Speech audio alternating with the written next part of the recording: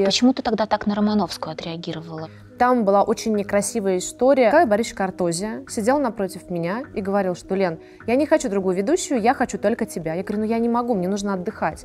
И у нас была договоренность. Он сказал, возьмем двух парней, а ты будешь в Москве сниматься. То есть на телевидении давно работаю, мне звонят и говорят, ты знаешь, что пятница проводит кастинги на твою программу. Звонят продюсеры и говорят, мы снимаем новое промо под твою программу. И мне прислали сценарий. Один.